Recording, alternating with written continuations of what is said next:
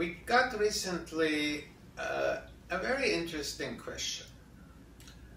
And the question was Can a woman outgrow PCOS, polycystic ovary syndrome?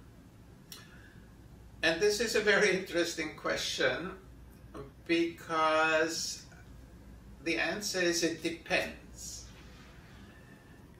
Order to answer this question, I have to first explain a little bit about what PCOS really is. Polycystic ovary syndrome, as the term syndrome already indicates, is not the disease.